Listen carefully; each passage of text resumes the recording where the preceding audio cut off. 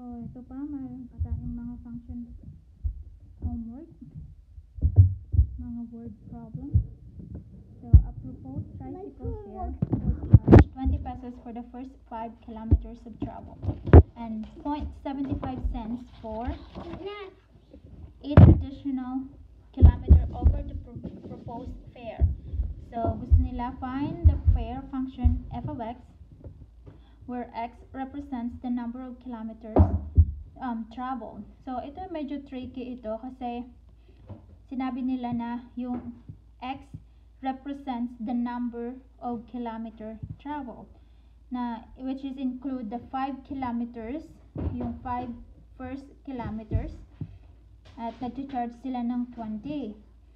So, and each kilometer is 0.75. So, we have to so so 0.75 times 5 kilometer is um 3 point something 3.75. So, we subtract subtract natin yung initial char yung initial fare na 20 pesos minus um yung 5 kilometers na 0.75 is 3.75 and this will give us 16.25 pesos. Kasi yung x ito na yung total number of traveled so kailangan nating i-subtract yun. So yung ating function f of x is equal to ito na 16.25 pesos. Now, i-plus natin yung x na yung x is the um, number number of kilometers traveled. So, and each kilometer traveled is equal to 0.75 pesos. So, 0.75 times natin yung x. So, ito na yung ating function answer to this. So, um, tapos, next problem, how much is the proposed fare for distance of 3 kilometers? So, since ito ay 20 pesos yung charge within first 5 kilometers, so, yung 3 kilometers is less than 5 kilometers, so yung charge sa kanya ay yung initial charge which is 20 pesos. So, 20 pesos is ang kanyang pamasahe. Tapos, find the proposed fare distance of 55 kilometers. So, ito na yung, so, mayroon na tayong function dito, f of x is equal to this. So, i-substitute natin yung 50, 55 kilometers sa mga x. So, f of 55 is equal to 16.25 pesos plus 0.75 times 55 kilometers. So, this is equal to 16.25 plus point um so we have um 55 times 75 so um 25 25 26 27 and then 35 carry 3 35 36 37 38 so 5 12 carry 1 10 11 carry 1 4 so 41.25 41.25 so if we add this we get a 57 57.50 so ito yung kanyang pamasahe 57.50 so um ayun na so next problem the cost of producing X tools by a B&G corporation is given by the function C of X is equal to 1 2 times X plus 5,500 pesos. How much is 100 tools? So, ito na, replace lang natin ito. C of 100 is equal to 1 2 times 100 plus 5,500 pesos. So, multiply lang natin ito. is equal to 1, 2 times 100 plus 5, 5. So, this is equal to 125 pesos. So, ito na yung kanyang sagot. 11. Then, number 12. Mark charges 100 peso for an encoding work.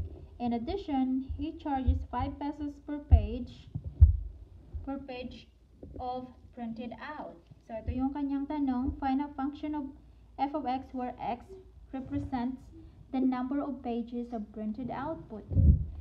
So, f of x is equal to So, charge niya yung kanyang encode is 100 plus yung the number of printed output. So, 5 pesos times the number of printed output. So, 100 f of x is equal to 100 plus 5 times x. So, how much will Mark charges charge for 55 page encoding and encoding and printing work? So, mayroon na tayong function dito. So, f of 55 is equal to 100 plus 5 times x is 55 so it's equal to 100 plus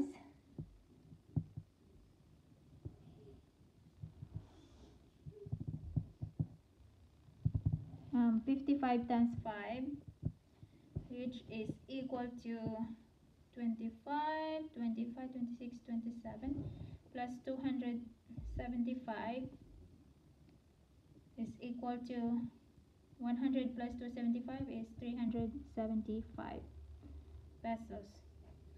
So ito yung kanyang sagot. How many pages how many pages were printed if Mark received a payment of 600 So, kapag meron siyang na-receive na 600 pesos, ito na yung total na binayaran ng customer. So, 600 is equal to 100 plus 5x.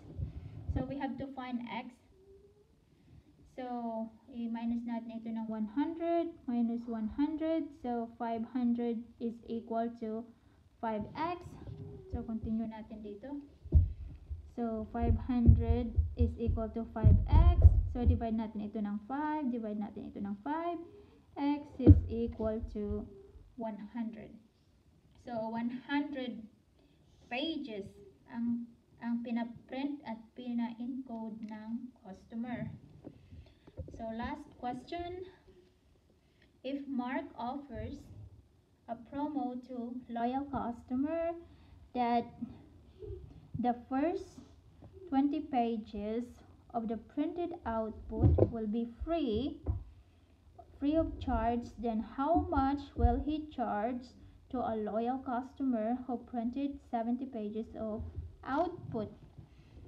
So ito na yung at ito pa rin yung ating function na gagamitin. So ngayon gusto niyang i-free yung 20 pages. So yung customer nagprint siya ng 70 so f of 70 minus, minus na natin yung 20 kasi free yung 20 is equal to 100 plus 5 times 70 minus 20. So, f of 70 minus 20 is only 50. So, it's equal to 100 plus 5 times 50. So it's equal to 100 plus 5 times 50 is 250. So 100 plus 250 it's equal to 350. Now this is in pesos. So 350 350 pesos ang babayaran ng kanyang customer kapag free ang 20 pages. So, and that's the last homework problem.